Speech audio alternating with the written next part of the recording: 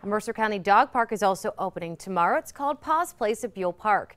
At Fenston Park has separate areas for small and large dogs. To use the park, you do have to register your dog and pay a $25 a year membership fee. So far, 50 dogs are signed up. Money to build the park was donated and raised mostly through fundraisers.